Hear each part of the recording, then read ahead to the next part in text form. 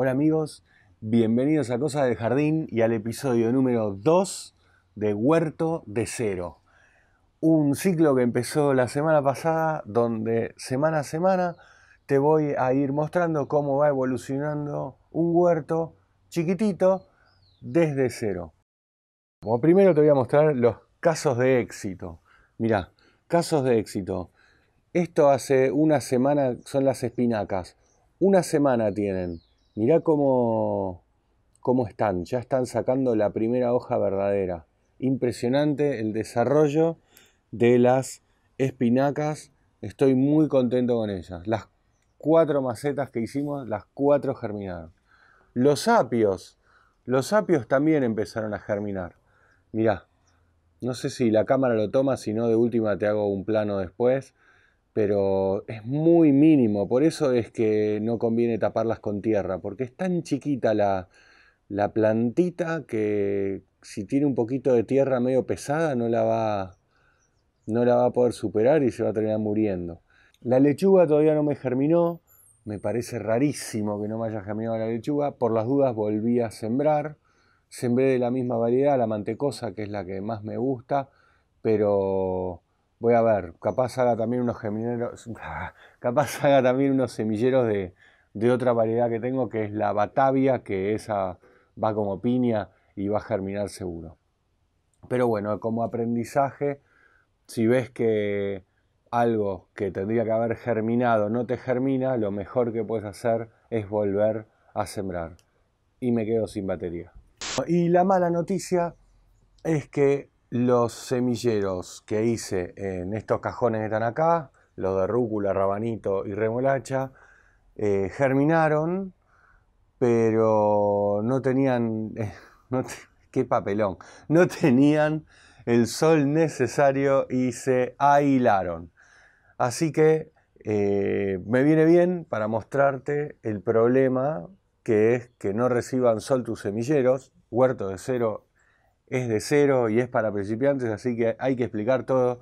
Entonces me viene bien para mostrarte que cuando vos veas lo que pasa en, esta, en las plantas, cuando veas si te pasa así, lo mejor que puedes hacer es empezar de nuevo y a otra cosa mariposa. Sobre todo en lo que es rabanito y remolacha, justamente, que si se estira el tallo, así como se estiró acá, después es más difícil que se forme el, digamos, el bulbo, no es un bulbo, pero el bulbo, la raíz, el gordo, la, pelota, ¿no? Eh, no sé cómo se llama, pero lo redondo, digamos, del rabanito y de la remolacha, para que se forme eso, el tallo no tiene que estar estirado. Así que lo voy a sembrar de nuevo y listo. Total, como mucho perdí cinco días. No es nada cinco días para un cultivo que después lo necesitas el bulbo, ¿no? Así que, bueno, ¿por qué pasó eso? Bueno, pasó eso porque yo lo tenía en lo que yo creía que era una media sombra, pero después cuando empiezo a ver eh, que la planta se está estirando, me doy cuenta que eh, no era media sombra, sino que era bastante sombra. Y además, el lugar donde estaba, que es justamente acá, en este lugar donde estoy grabando, recibe muy pocas horas de sol. Yo creo que debe recibir tres horas de sol como mucho. Entonces, pensé que recibía más, la verdad. Pero bueno, me salió mal. Entonces ahora lo voy a volver a sembrar y los voy a poner los cajones en un lugar donde reciban más sol. La realidad es que los rabanitos y la remolacha necesitan 6 horas mínimo de sol para andar bien, así que bueno.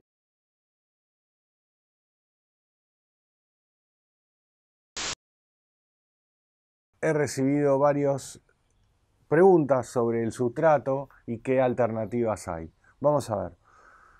Vos para, para las macetas y sobre todo para las plantas de la huerta, la planta de la huerta no es una planta fuerte, son plantas que durante muchísimos años se fueron siglos, se fueron mejorando em, por la mano del hombre, la fue mejorando para tener una lechuga tierna, un rabanito con un bulbo colorado, una remolacha así de grande, ¿no? Eh, hojas menos amargas. Todo eso es bueno para comer, sí, pero lo que hizo fue que las plantas de la huerta sean más débiles. Em, no, o sea, las plantas salvajes eran plantas adaptadas a cualquier suelo, pero las plantas de la huerta necesitan un suelo mucho más suave y mullido y húmedo para poder desarrollarse. Entonces, en la maceta pasa lo mismo, vos tenés que ponerle buena tierra para que las plantas de la huerta crezcan bien. Mm, y sobre todo en las macetas, que en las macetas la tierra tiende a compactarse mucho y se seca y no drena y bueno, un montón de cosas. Entonces, para eso es que uno prefiere usar sustratos. Los sustratos son combinaciones de distintos materiales que son adecuados para estar en maceta. Por ejemplo, no tienen arcilla. La arcilla, viste, se hace como un masacote, que si vos lo tenés en la tierra, en el jardín, en la huerta, no pasa nada, porque se puede desparramar. Pero en la maceta se endurece y te queda un ladrillo. Entonces se usa esto, que es la turba, la, mm, fibra de coco, como los materiales por excelencia, para que justamente no se apelmase la tierra. Porque estos son como palitos chiquititos que nunca se llegan a, aglutinar, digamos. Bueno, por eso es que preferís usar eso. Si no tenés eso, yo creo que lo mejor que podrías hacer es usar directamente compost, compost de hoja, ¿sí? Em, que ese compost también es algo que no se va a aglutinar. Y al compost lo podés mezclar con arena, ¿sí? Arena de río o con cascarilla de arroz. Eso como la alternativa a la turba, a la fibra de coco o al sustrato para macetas que vos compraste. La turba y la fibra de coco también hay que mezclarlas con algo para que no esté tan apelmazado, ¿sí? Algo que separe esos palitos. Por eso se usa perlita o vermiculita, que son como unos granulitos chiquititos que parecen piedrita de gato, pero no son. Y son unos granitos chiquititos que te separan la tierra y, hacen que la tierra respire mejor. Si no tenés o no querés comprar esos granulitos, puedes usar arena de río para mezclarla con la turba o con la fibra de coco o con el, o el compost. Lo que nunca puedes hacer es mezclar una tierra arcillosa con arena. Porque si vos mezclas tierra arcillosa con arena, vas a hacer una especie de cemento y vos no querés tener un cemento. Entonces nunca uses eso. Si vos tenés, lo único que tenés es tierra arcillosa, entonces mezclala con compost. Mezclala bien con compost como para que se, se mantenga separada. Y bueno, eso es en el peor de los casos. En el peor de los casos hace la tierra horrible arcillosa mezclada con compost. O con, si no, estiércol de vaca o estiércol de caballo mezclado con esa tierra arcillosa, también puede andar. Pero no es lo ideal. Yo estoy usando un sustrato para macetas que compré directamente. Y si no, hago, antes hacía uno que era turba, perlita y compost. ¿eh? Eso es mucho más barato que el sustrato de maceta, porque compras todo en cantidades y lo mezclas. Bueno, eso ahora vas a tener que vos ir a Mercado Libre y empezar a ver qué es lo que más te conviene. Mira, esto es re básico, pero bueno, si te sirve, es muy fácil. Vos agarrás y medís. Medís el largo ¿sí? de tu macetero. Esto es 48. 48 centímetros. Medís el ancho, son 33 centímetros. Y después medís la profundidad, que son más o menos 30 centímetros. 48 por 33 por 30 da más o menos 48.000. 48.000 centímetros cúbicos.